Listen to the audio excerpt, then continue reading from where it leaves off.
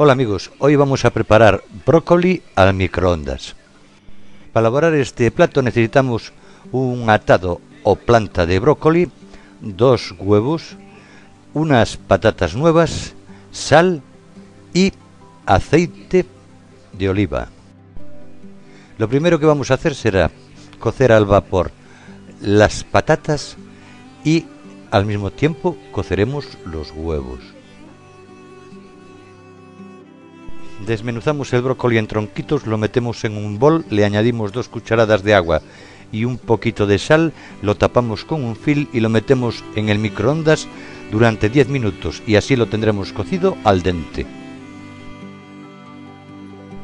He cocido al vapor durante 10 minutos las patatas con los huevos y ahora las he secado bien y las paso por la sartén.